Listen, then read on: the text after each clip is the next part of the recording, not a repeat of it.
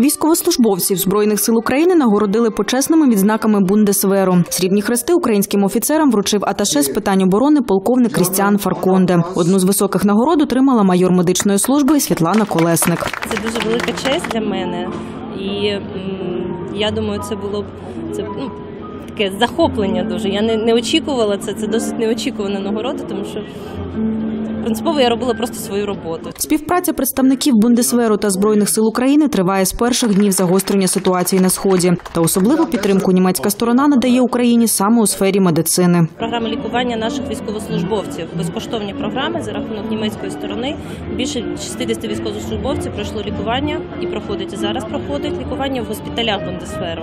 Є хворі, які проходять лікування півроку. У нас є пацієнт, який лікується вже другий рік там. І по закінченню лікування він повертається в Україну і вже є випадки, навіть коли поверталися в стрій.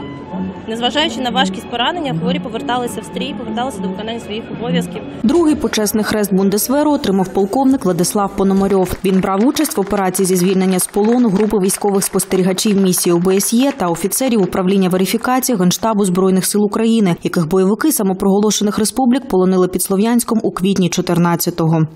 повстанцы сказали, что мы готовы будем освободить иностранных инспекторов, А украинцев мы оставим в качестве живого щита.